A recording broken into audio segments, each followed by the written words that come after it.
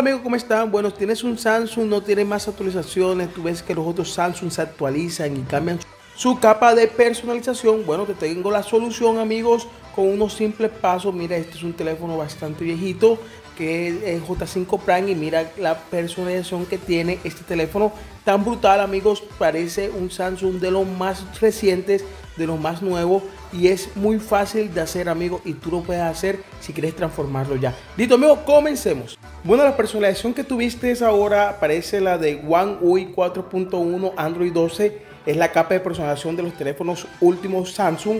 Entonces vamos a transformar este teléfono amigos muy fácil. Necesitamos varias aplicaciones que te voy a dejar en la descripción y hacer unos pasos sencillos amigos. Entonces primero lo que vamos a hacer vamos a cambiar nuestro fondo de pantalla por los nuevos fondos de pantalla de los nuevos teléfonos Samsung S22 todo está en la descripción amigos vamos a poner este fondo de pantalla vamos a configurarlo amigos para ponerlo un poquito más moderno y el primer resultado se ve mira cómo se ve diferente en nuestro teléfono ahora que vamos a hacer vamos a instalar un launcher que nos va a cambiar los iconos de nuestro teléfono a los nuevos iconos de los teléfonos Samsung. Ahí está en la descripción el launcher, amigos. Listo, mira, vamos a instalar este launcher. Vas a ver que va a cambiar hasta su interfaz, amigos. Listo, ya lo instalé. Entonces, ¿qué vamos a hacer? Vamos a predestinarlo como el launcher que va a quedar. Es muy fácil, te metes a configuraciones, a, vamos a aplicaciones aquí aplicaciones y vamos a buscar aplicaciones predestinadas aquí pantalla de inicio vamos a tocar amigos pantalla de inicio y vamos a escoger el launcher nuevo que instalamos y es este amigos mira eh, los iconos ya cambiaron por completo y su interfaz su animación es diferente más moderna entonces muy bien. Entonces qué vamos a hacer más vamos a instalar otras aplicaciones como esta que va a cambiar nuestra barra de notificación. Ahí está amigos, se llama OneChade. Vamos a instalar esta aplicación, ahí está eh, su versión full, ahí en la descripción amigos. Entonces vamos a iniciarlo, vamos a dar todos los permisos. Vamos a conceder todos los permisos que nos pida la aplicación para continuar sin errores. Listo, vamos hacia atrás. Vamos a, también a, conceder este permiso muy importante de accesibilidad. Listo, vamos en aceptar. Y listo amigos, ya va a iniciar eh, la aplicación normalmente.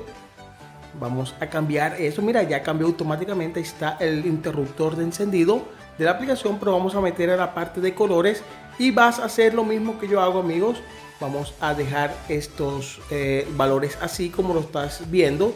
En tipo de fondo, amigos. Entonces aquí vamos también. Color de fondo. Vamos a dejarlo así, amigos. Ese valor que está ahí, vamos a dejarlo así.